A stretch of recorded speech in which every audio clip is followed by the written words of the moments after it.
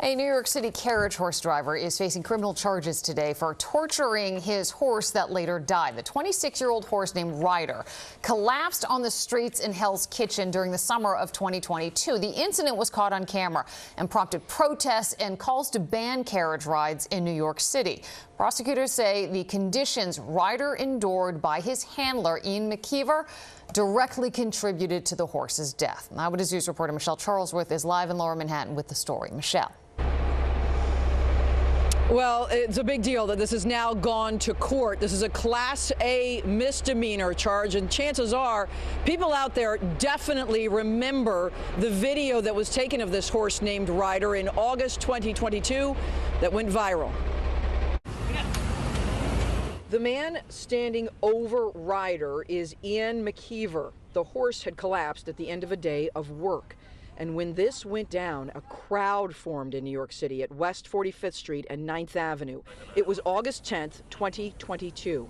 Everyone filming with cell phones and some people yelling for the horse handler to stop. Why are you slapping him? That horse died after that. And we learned on paperwork Ryder, the horse, was listed as 13 years old, but was actually 26 years old. Retirement age for a horse.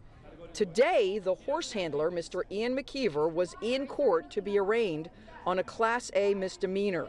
He is the man in red. As he left court, an animal rights activist profiting from their criminal animal abuse of Ryder and many other horses tore into him about allegedly abusing Ryder, misrepresenting his age, and causing his death. I've never harmed a horse in my life. It's taken them a whole year to decide to prosecute this case? Are you out of your mind? People have known about this. This case is politicized. There are so many other horses slowly being worked to death right now. We are documenting elderly, injured horses similar to Ryder's still being forced to work in such bad shape every day.